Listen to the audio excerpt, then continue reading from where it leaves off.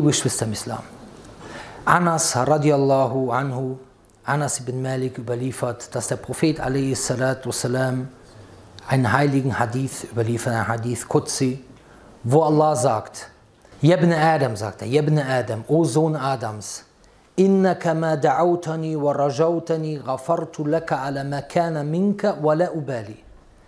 يا ابن آدم لو بلغت ذنوبك عنان السماء ثم استغفرتني غفرت لك يا ابن آدم لو أتيتني بقراب الأرض خطايا ثم لقيتني لا تشرك بي شيئا لأتيتك بقرابها مغفرة Das heißt, O Sohn Adams, O Sohn Adams, O Sohn Adams. Dieser Ruf ist von Allah subhanahu wa ta'ala in einem heiligen Hadith für dich persönlich. O Sohn Adams, Solange du Dua zu mir machst und auf mich hoffst, das heißt Dua verbunden mit wirklicher Hoffnung, die wirklich vom Herzen kommt, werde ich dir das vergeben, was von dir ist und werde es nicht beachten. O Sohn Adams, wenn deine Sünden bis zum Himmel reichen oder bis zu den Wolken des Himmels reichen, das heißt, du müsstest dir jetzt die Sünden vorstellen, du hast so viele Sünden gemacht, dass sie bis zu den Wolken des Himmels reichen, ja? Und dann bittest du mich um Vergebung, werde ich dir vergeben.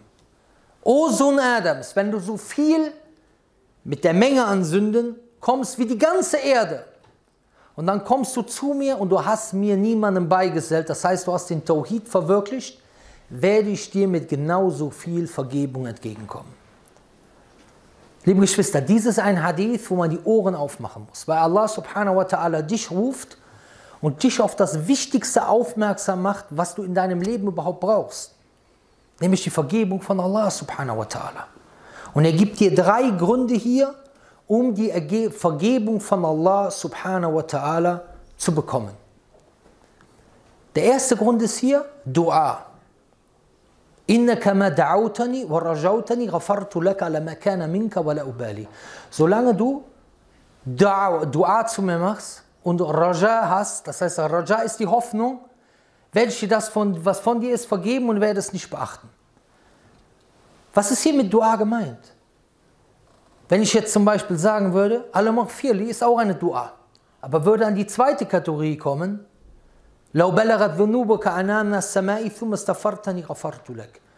wenn deine Sünden bis zum Himmel kommen, bis zu den Wolken des Himmels kommen, du mich dann um Vergebung bittest, weil Dua ist, Istighfar ist eine Dua für Vergebung. Aber wo ist jetzt hier die Dua? Zum Beispiel, ganz einfach, wenn du sagst, Rabbana atina fi dunya hasana wa fil akhirati hasana wa qina adhaban Oh Allah, gib mir Gutes im Diesseits, Gutes im Jenseits und hüte mich vor der Strafe des Feuers.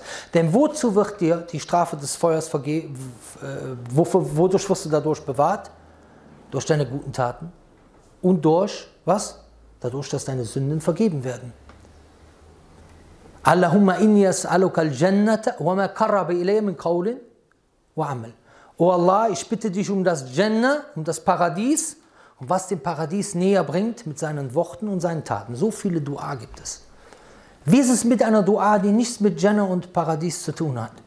Zum Beispiel mit weltlichen Sachen. O Allah, gib mir eine rechtschaffende Frau. Wie weit hilft das bei der Vergebung der Sünden oder wie, wie weit hilft das dabei?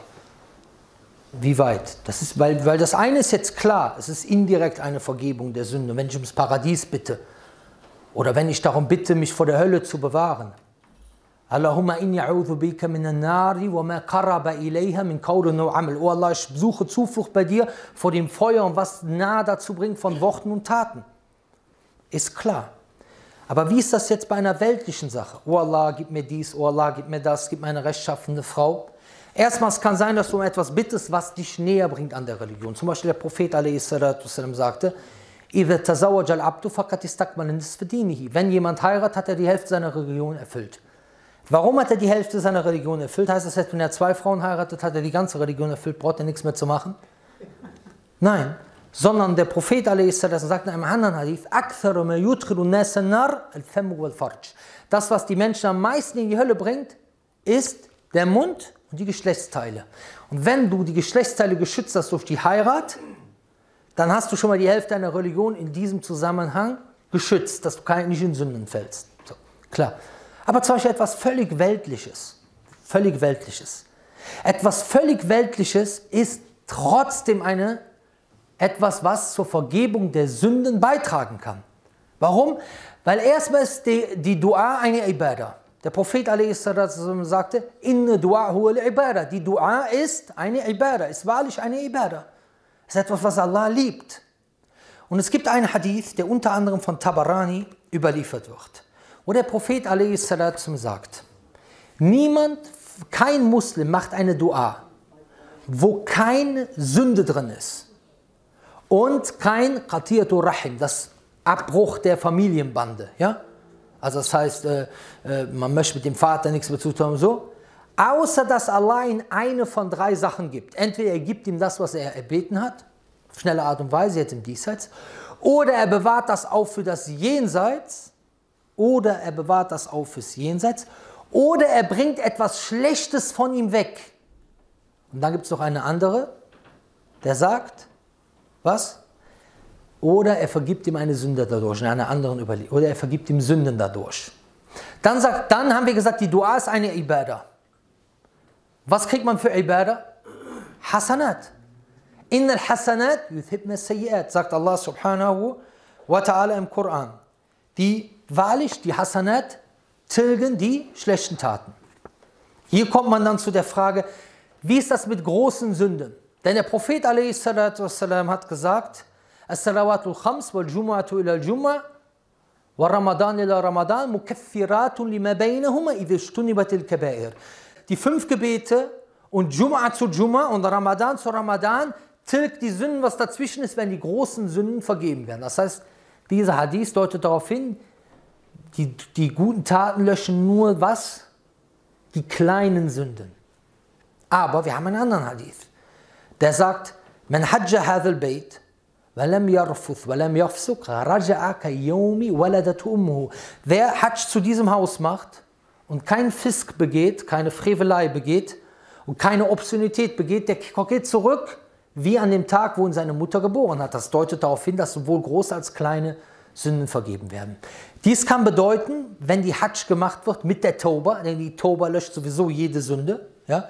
Der, der eine Toba von einer Sünde macht, ist wie der, der keine Sünde gemacht hat, sagt der Prophet. Dann gibt es einen anderen Hadith, der sagt, dass eine Frau von Benu Israel vergeben wurde, die war Prostituierte, weil sie einem Hund zu trinken gegeben hat. So.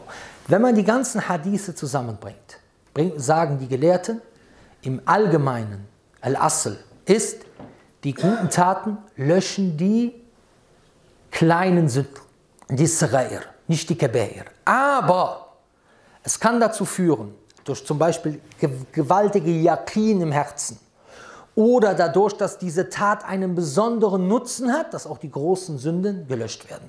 Der Prophet a.s.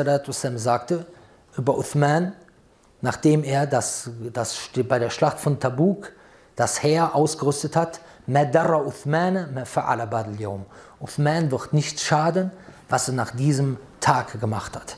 Das ist der erste Grund für die Vergebung der Sünden. Dua mit Raja. أقول قولي هذا واستغفر الله لي ولكم ولسائر المسلمين فاستغفروا ربكم إنه كان غفارا. الحمد لله رب العالمين والصلاة والسلام على أشرف الأنبياء والمرسلين نبينا محمد وعلى آله وصحبه أجمعين وأشهد أن لا إله إلا الله وحده لا شريك له وأشهد أن محمدا عبده ورسوله صلى الله عليه وسلم. Liebe Geschwister im Islam, der zweite Grund, der hier genannt wird, ist was? War Ibn Adam, O Sohn Adams? لو بلغت ذنوبك أنان السماء ثم استفرتني غفرت لك. Anan al-Sama wird interpretiert bis zu den Wolken des Himmels. Das heißt, hier wird etwas versinnbildlich. Stell dir vor, die Sünden werden aufgestellt. Und dann bittest du mich um Vergebung, dann, wär, dann werde ich dir vergeben. Und die Vergebung, das um Vergebung bitten, ist Ighfar, ist eine gewaltige, gewaltige Tat. Allah subhanahu wa ta'ala sagt im Koran, Surah 3, Vers 135 bis 136, وَالَّذِينَ إِذَا فَعَلُوا فَاحِشَةً أَوْ ظَلَمُوا أَنفُسَهُمْ ذَكَرُوا اللَّهِ Und diejenigen, die eine Schändlichkeit gemacht haben oder sich ihrer eigenen Seele Unrecht getan haben und dann Allah gedenken, die denken an Allah, oh Allah, das habe ich gemacht. Dhakarullaha fastaghfiru li dhunubihim. Sie gedenken an Allah und bitten um Vergebung für ihre Sünden. Und wer vergibt die Sünden außer Allah? Und dann, und nicht auf dem beharren, was sie getan haben, während sie es wissen. Das heißt, hier haben wir es mit einer gewaltigen Sache zu tun. Und es gehört zu der Rechtleitung des Propheten Qawliya wal Fi'liya. Der Prophet والسلام, hat manchmal in einer Sitzung, berichten die Sahaba, hundertmal Istighfar gemacht. In einer Sitzung. Und es wird beliefert, 70 bis 100 Mal am Tag Istighfar. Hat der Prophet والسلام, gemacht. Obwohl er der Mensch ist, der das am wenigsten nötig hat. So, aber was hat er uns dadurch überbracht? Wir können da ein anderes Mal darüber reden, ja, auch ähm, wie ist das mit Sünden der Propheten? Da gibt es verschiedene Aussagen darüber. Es, viele Gelehrte sagen, sie sind masum von den großen Sünden, aber kleine Sünden können sie machen. Manche sagen weder große noch kleine Sünden, weil die kleinen Sünden waren eigentlich keine Sünden, sondern das waren beispielsweise Vergesslichkeiten oder unbeabsichtigte Fehler etc. etc. gewesen. Ja? Aber das ist ein anderes Thema, was, was hier zu breit gehen würde bei dieser Freitagspredigt. Ja? Aber was bringt er uns dadurch? Was ist das Erste, was du denkst, wenn du hörst, der Prophet hat am Tag hundertmal Istighfar gemacht? Das Erste, was du denkst, ist, du sagst dir, wie oft muss ich dann Allah um Vergebung bitten? Wenn der Prophet das gemacht hat. Wie oft muss ich das dann machen? Wenn du hörst, Abu Huraira hat tausendmal am Tag, wird überliefert, tausendmal am Tag ist dir gemacht. Was dann sagst du dir, boah, das war ein Sahabi, der hat 5374 Hadithe hier hingebracht, von denen die Umma heute profitiert. Was muss ich dann erst machen? Das ist das Erste, was du dir sagst. Dann, also wie gesagt, Kauliya wal Fi'liya, das heißt, dass er es selber gemacht hat und dass er es selber auch angeordnet hat. In verschiedenen Situationen. Wie zum Beispiel nach dem Gebet. Assalamu alaikum wa rahmatullah, assalamu alaikum wa rahmatullah. Astaghfirullah, astaghfirullah, astaghfirullah. Man sagt danach dreimal Astaghfirullah. Das gehört mit dazu. Und hier ist, hier ist erstmal die, bei dem, in, im Fall vom Propheten والسلام, war das auch eine Art von Dank gegenüber Allah, dass, dass er das gemacht hat. So und jetzt muss man sich fragen, was bewegt mich mehr dazu, ist Istighfar zu machen? Was bewegt mich mehr dazu, ist Istighfar zu machen? Erste Sache, indem du über die darüber nachdenkst, wie gewaltig, wie groß Allah subhanahu wa ta'ala ist und indem du darüber nachdenkst, wie viele Sünden du machst. Das ist sehr, sehr wichtig. Wir kommen uns leider manchmal hier in Deutschland vor, wie die Einäugigen unter den Blinden, weil wir so viele Muslime sehen, die gar nichts praktizieren, die in der Spielhalle sitzen, die nicht beten, die Drogen nehmen, die rauchen, die eine Freundin haben.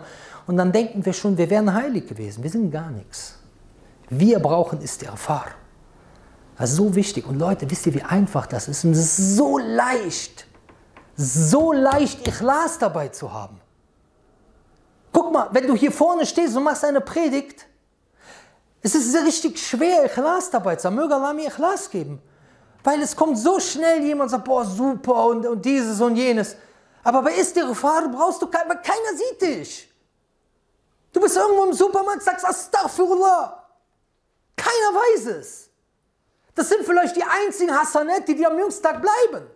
Vielleicht bist du zum Jumma-Gebet gekommen mit der Absicht, im Hinterkopf so ein Stück, dass die Leute nicht sagen, ja, guck mal, wo war der denn bei Jumma? Warum kommt er nicht zu Jumma? Vielleicht hast du den Hijab getragen, ein bisschen mit der Absicht, dass die sagen, oh, mashallah, die trägt Hijab. Aber ist dir Fahr, ist vielleicht das, was übrig bleibt. Das kannst du überall sagen, ohne dass dich jemand sieht. Du gehst alleine über die Straße, du gehst alleine im Supermarkt. Hier die Frage jetzt. Nützt es dir, ist dir Gefahr was, wenn man die Sünden weitermacht? Die Gelehrten sagen, ja, nützt was. Weil es auch dazu, weil es unter anderem dazu führen kann, dass du dir die Sünde abgewöhnst dadurch. Genau wie ist der Gefahr gemacht werden kann nach dem Tod. Toba kann nicht nach dem Tod gemacht werden. Du kannst dich für jemanden Toba machen, der tot ist, aber du kannst Istighfar machen für jemanden, der tot ist. Deswegen gibt es das Totengebet. Was sagen wir beim Totengebet in der Dua? Allahumma lahu warhamhu. Da machst du Istighfar für ihn. Aber es muss mit Angst im Herzen gemacht werden, ansonsten ist es einfach nur eine Lüge. Aber jemand, der zum Beispiel raucht und der sagt danach, Astaghfirullah, der denkt sich, boah, war echt schlecht, was ich gemacht habe. Guck mal, dieses Istighfar führt ihn dazu, darüber nachzudenken, wie schlecht das eigentlich ist. Das heißt, es kann trotzdem was bringen. Dann etwas anderes dazu, zum Istighfar. Eine, eine gewaltige Sache in Suche 71 ist Surah Nur. Was sagt Nuh dazu seinem Vorvolk? Ja, was hat er denen befohlen? Guck mal, das ist dazu da, damit Regen herabkommt, damit sie Vermögen bekommen, Nachwuchs bekommen. Ist dir Fahr. Damit der Regen kommt, damit die Vermögen bekommen. Zu Hassan al-Basri kommt jemand in die Moschee, sagt zu ihm, ich bin arm. Hassan sagt, mach Istighfar. Ein anderer kommt, sagt, ja, mein Garten, ich habe einen, hab einen Garten, der ist trocken, der hat zu wenig Wasser. Sagt sie, mach Istighfar. Ein anderer sagt, ja, ich bin verheiratet, ich kriege keine Kinder, ich will Kinder, Nachwuchs haben. Sagt er, mach Istighfar. Das ist der Schlüssel dazu gewesen. Und das ist so einfach und so leicht zu machen. Einfach, wenn du irgendwo bist, wenn du in der Bahn sitzt oder wenn du im Auto sitzt, du kannst hundertmal Istighfar machen und denkst darüber nach, über deine Sünde, wie groß Allah ist. Guck mal, wisst ihr, was das Problem ist von vielen Leuten? Viele Leute kommen und sagen, ja, warum gibt es so schwer, warum gibt es so eine schwierige Strafe äh, wegen dieser einen Sünde? Wisst ihr, was das Problem von ihnen ist? Sie messen die Sünde nach ihrem Maßstab, aus ihrem Blickwinkel, wie groß die Sünde ist. Und da sie die Sünde so weit entfernt sehen, sehen sie die Sünde ganz klein. Du musst die Sünde aber nach dem sehen, dem du ungehorsam bist. Wem bist du ungehorsam? Allah. Wer ist Allah? Allahu Akbar. Und das sagen wir in jedem, vor jedem Gebet sagen wir. Im Adhan schon viermal, im Adhan sechsmal Allahu Akbar. Viermal am Anfang, zweimal, zweimal am Ende. Oder kurz vor Ende. Dass wir uns immer wieder vergewissern, Allah ist der Größte. Das heißt, ich bin gerade ungehorsam dem Größten gegenüber. Der größer ist als alles. Das zum Istighfar. Dann der nächste Grund, der hier erwähnt wird, ist was? Ja, bin Adam, O Sohn Adams, wenn du zu mir kommst, das heißt am jüngsten Tag kommst du zu mir, ja, mit der Erde so viel an Sünden, dann kommst du zu mir und du hast mir niemand beigesellt, so werde ich dir mit genauso viel Barmherzigkeit kommen. Und was ist das? Das ist die Grundlage. Tawhid. Wenn du keinen Schirk begangen hast, wird dir irgendwann verziehen werden. Und wenn du Schirk gemacht hast und du stirbst im Schirk, dann nützt dir auch nichts, wenn du zwischendurch da stehst und sagst, Astaghfirullah, Astaghfirullah, Astaghfirullah und bist trotzdem weiter Schirk gemacht. Natürlich, wenn du, wenn du Schirk gemacht hast, bitte Salam, Vergebung und hörst auf mit dem Schirk, das ist eine andere Sache. Ja? Aber all diese Sachen, gute Taten machen, Dua machen, Istighfar machen, nützt dir nichts, wenn du im Schirk stirbst. Allah sagt im Koran, Surah 4, Vers 48, Inna Allah ma. Allah vergibt es nicht, dass man ihm Götter beigesellt. Er vergibt was darunter, es wem er will. Und Allah sagt in Surah 5, Vers 72, Innu me yushrik billah faqad harram Allah alayhi al-jannah wa hu nar wa ma li zalimin min ansar. Wahrlich, wer Allah Schirk gegenüber begeht, ja, so ist für ihn das Paradies verboten, seine Bleibe wird die Hölle sein und er wird keinen Helfer haben. Allah subhanahu wa ta'ala sagt im Koran, Hätten sie Schirk begangen, wäre das, was sie getan haben, vernichtet worden. Sure 6, Vers 88. Sure 39, Vers 65 sagt Allah sogar zum Propheten. لقد أوحي إليك وإلى الذين من قبلك ولئن أشركت ليحبطن عملك ولا تكونن من الخاسرين. Es ist schon dir offenbart, von denen vor dir hättest du Schirk begangen, wären deine Taten zunichte geworden, du würdest wahrlich zu den Verlierern gehen. Das sagt Allah zum Propheten. Das heißt, Schirk ist gefährlich. Ist, ist das Gefährlichste überhaupt. So. Und deswegen sagt zum Beispiel auch äh, Sheikh, Sheikh al-Islam Muhammad Abu Wahab, فَإِذَا أَرَفْتَ أن الله خلقك لإبادتي فاعلم أن الإبادة لا تسمى إبادة إلا ما توحيد كما أن الصلاة لا تسمى صلاة إلا ما طهارة فإذا خارت فإذا دخل الشرك في إبادة فسدت كالحدث إذا لا دخل في الطهارة Das heißt, wenn du, äh, wenn du weißt, dass Allah dich erschaffen hat, damit du ihm dienst, so wisse, dass die Ibadah nur Ibadah genannt wird mit Tawhid. So wie das Gebet nur Gebet genannt wird mit Tahara, mit Reinheit. Wenn dann ein Hadath, wenn der Schirk in die Ibadah hineinkommt, geht die Ibadah zu Nutzen, geht, geht die Ibadah zunichte. So wie der Hadath, die Unreinheit, du hast zum Beispiel auf Toilette, wenn sie in die Tahara hineinkommt. فإذا رفت أن الشرك إذا خارت الإبادة أفسدها وأحبت العمل وصار صعب من الخالدين في النار عرفت أن هم ما عليك معرفة ذلك Das heißt, da sagt er hier, ja, wenn du weißt, dass der Schirk, wenn er die Ibadah vermischt, sie zunichte macht und der Gefährte davon, der Schirk begangen hat, also der die Schirk macht, zu denen gehört, die für ewig keine Hölle bleiben, so weißt du, dass das Wichtigste für dich ist, zu lernen, was Schirk ist. So, das heißt, diese Sachen sind für die Vergebung wichtig, dass wir in das Paradies kommen. Tawhid lernen, Dua machen, Istighfar machen. Dua können wir so viel machen, es gibt so viele Situationen, wo wir es verpassen. Die Dua zwischen Adhan und Iqama wird nicht zurückgewiesen. Letzter Drittel der Nacht. Guck mal jetzt, bald ist Winter. Letzter Drittel der Nacht ist einfach zu erwischen. Man kann lange schlafen. Isha ist sehr spät und Fajr ist auch sehr, äh, ist sehr früh und Fajr ist auch sehr spät. Das heißt, du kannst früh ins Bett gehen und kannst die letzten Drittel der Nacht noch erwischen. Dann im Sujud, Akraba ma yakunu al-abdu min rabbi wa sajid. Istighfar kannst du überall machen. Lass uns diese Taten nutzen, lass uns Tawhid lernen und möge Allah subhanahu wa ta'ala uns zu denjenigen machen, die diese Grundlagen lernen. أقول قولي هذا واستغفر الله ولكم ربنا أتينا في الدنيا حسنة وفي الآخرة حسنة وقنا عذاب النار أقول قولي هذا واستغفر الله لي ولكم ولسائر المسلمين سبحانك اللهم وبحمدك أشهد أن لا إله إلا أنت أستغفرك وأتوب إليك سبحان ربك رب العزة عما يصفون والسلام على المرسلين والحمد لله رب العالمين أقم السلام